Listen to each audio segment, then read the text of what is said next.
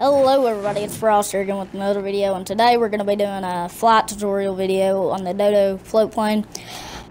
Um, just watch your speed as you're taking off here and uh, we're going to make sure we're going a safe enough speed to where that when we rotate we're not going to end up having to stall out or anything like that later on in the flight.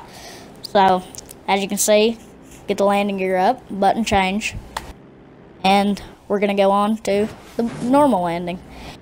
This one, I come on into LSA at an angle. I should have been on a direct approach, but you know, just have your landing gear down and you should be fine as long as you can kind of swing it in that direction.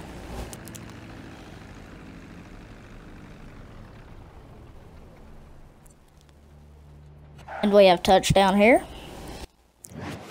Now we're going to do our first bush landing, which is going to be on land. After this one, we have a bush landing that's on water.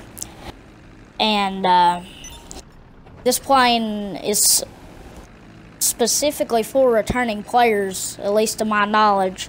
I'm not for sure if it's available for other players too, but um, I know it says uh, vehicle for returning players on the description. But uh, this is overall a fun vehicle and we're coming up on the bush landing too where we're gonna come in. You got to be very careful on this one because if you bounce like I'm about to do right here you do risk damaging your engine. See but that's the waves for you. So now here's our crash landing. We're gonna come in low and slow. Bring her in and we're down the next one's going to be the final one.